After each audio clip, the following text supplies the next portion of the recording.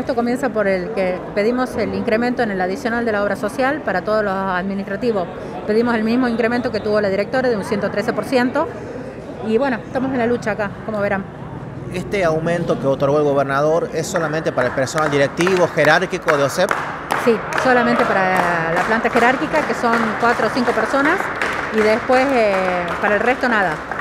Bien, coméntenos ahora en cuanto a las versiones que habían circulado de nombramiento de familiares de la directora en cuanto a este sentido.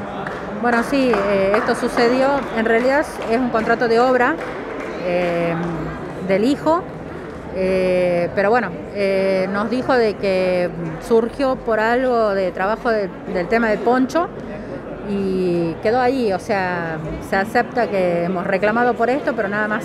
¿Es una sola persona que habían nombrado o serían más eh, familiares? En su momento, o sea, vino, vino a trabajar también la hermana, pero ya no está trabajando acá, es lo que nos aclaró ella la semana pasada. Y eh, ahora mm, sí, continúa una sola persona. En cuanto a reclamos por mejoras salariales, ¿cómo va a continuar esto en cuanto a la atención de las personas que vengan a, a OSEP? Bueno, estamos con guardias mínimas, asegurando la guardia mínima.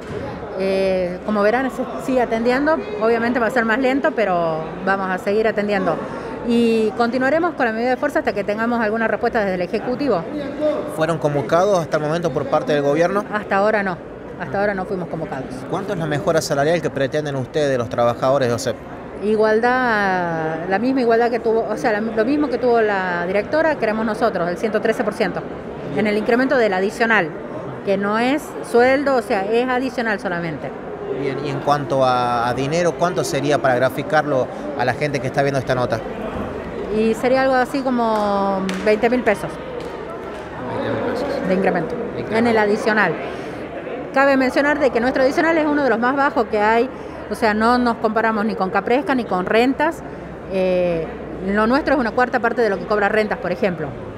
Entonces, eh, por lo menos eh, queremos lograr el incremento como, o sea, eh, tener un mejor adicional en nuestra obra social. Consultarle por último qué días van a ser estos kits de colaboración, la medida de fuerza. Esto es por tiempo indeterminado y bueno, y va a ser a medida de el horario va a estar estipulado en la asamblea, lo vamos a decidir ahí y vamos a ver cómo continuamos.